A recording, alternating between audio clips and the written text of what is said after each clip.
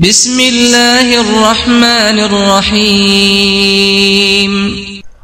الحمد لله والصلاة والسلام على رسول الله وبعد.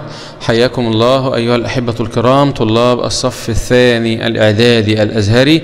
وكذلك حي الله تبارك وتعالى من يتابع معنا من غير الدارسين بالأزهر الشريف. وهذا هو الموضوع الأول من مادة التفسير بعنوان أداء الأمانة والعدل بين الناس. قال الله تبارك وتعالى أعوذ بالله من الشيطان الرجيم.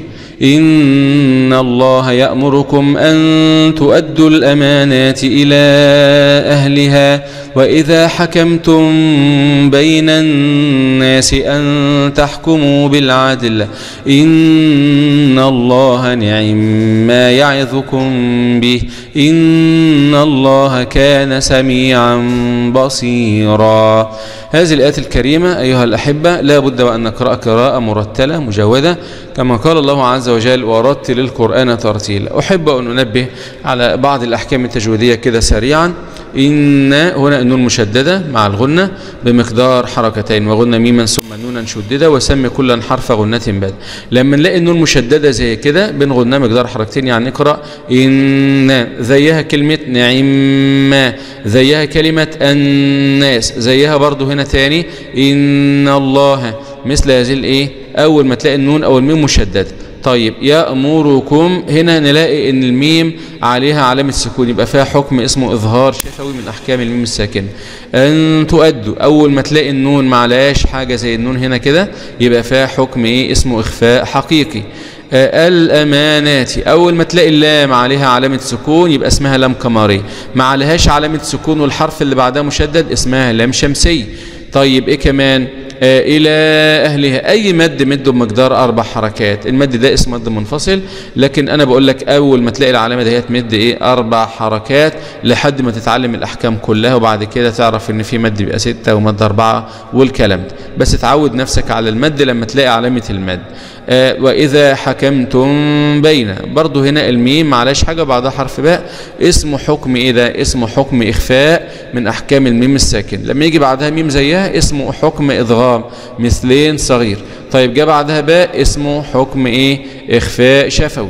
جاء بعدها أي حرف غير الباء والميم يبقى اسمه حكم إظهار شفوي زي كلمة هنا إيه؟ يأمركم أن ميم وبعدها إيه؟ همزة. دي أحكام سهلة ويسيرة. إن شاء الله برضو نخلي بالنا من حرف الذال. آه الذال والظاء والثاء. إخراج إيه؟ الذال والظاء والثاء من طرف اللسان مع أطراف الثنايا العليا. واذا وإذا. لأن انت لو ما خرجتش لسانك هتبقى أشبه بحرف الزاي. واذ لا وإذا وليس وإذ. أه حكم إيه تاني؟ أن تحكموا. برضو فيها حكم الإخفاء. وهنا النون طبعا مشددة مع الغن أه بالعادل. هنا الدال عليها كسره من حروف قطب جاد فيها حكم القلقال.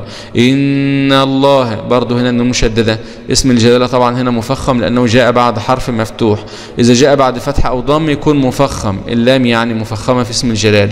جاء بعد كسر تكون اللام مرققه نعيم برضو هنا النون مشددة. نخلي بالنا ونخلي بالنا من كسرة العين. نعيم يعظكم به. هذا النطق الصحيح.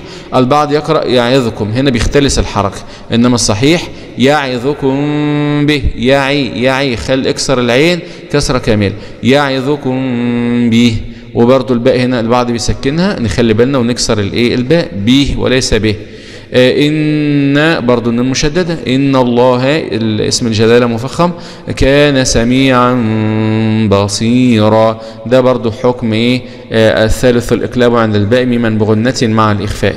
هنشرح ده برضو في مادة التجويد اللي عليكم إن شاء الله لكن خد الأحكام دي يعني أدم جات لنا آية قرآنية لازم إن نقرأها قراءة إيه؟ صحيح معاني المفردات الأمانات جمع أمانة وهي ما يؤتمن عليه الإنسان ويطلب منه أداؤه. أنا بسألكم الجمع ده اسمه جمع مذكر سالم ولا مؤنث سالم؟ اسمه مؤنث سالم لأن آخره ألف وتاء. طيب حكمتم هو من الحكم والفصل بين المتنازعين. يعني اتنين متنازعين مع بعض أو في بينهم مشكلة ما أو الكلام ده فبتفصل بين إيه؟ المتنازعين أو تحكم بينهم يعني.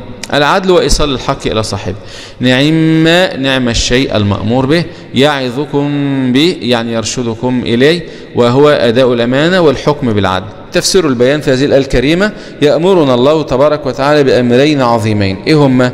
الأمر الأول أداء الأمانات. الأمانة تشمل كل ما يؤتمن عليه الإنسان من حق ربي أو حق نفسي أو حق غيره من العباد.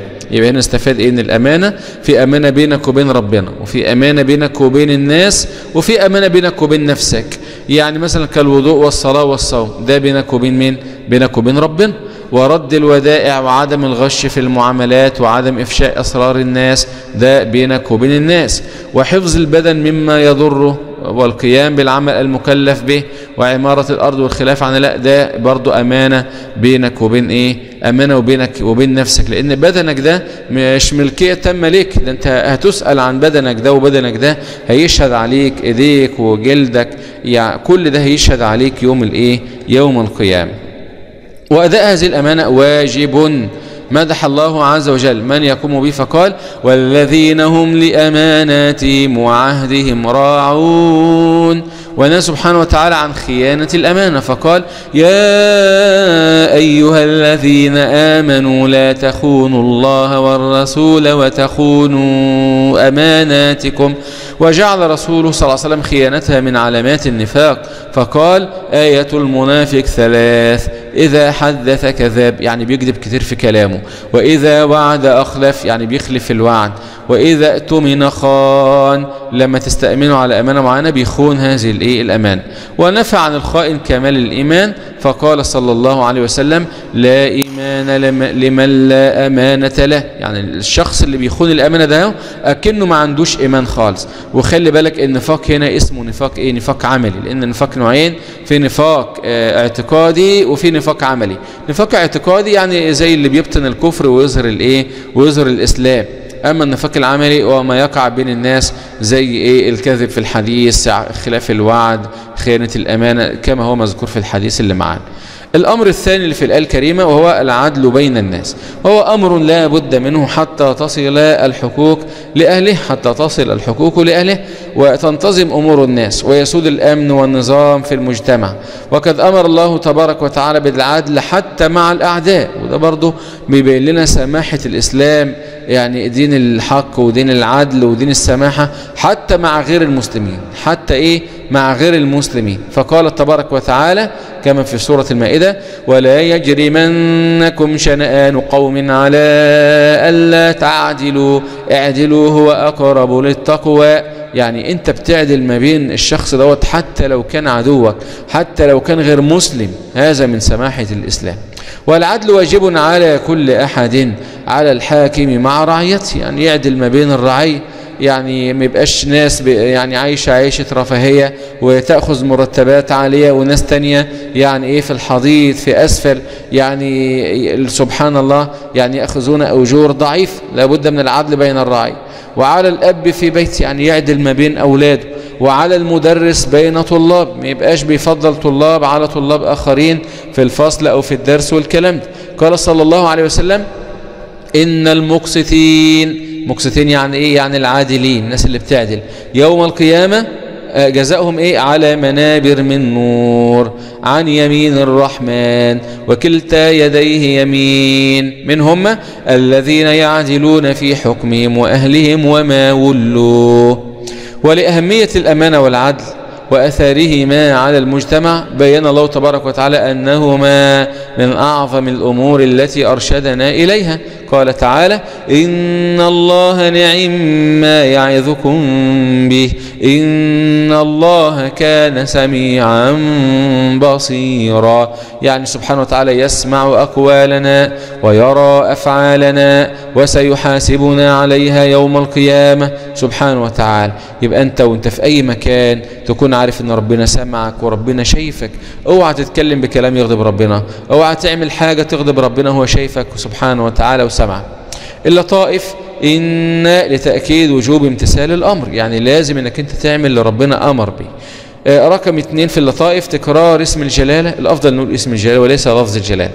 في قوله تبارك وتعالى إن الله يأمركم إن الله نعم ما يعظكم. إن الله كان سميعا بصيرا. شوف ان اسم الجلال كرر كم مرة؟ إن الله. إن الله إن الله. في الثلاث ثلاث مرات.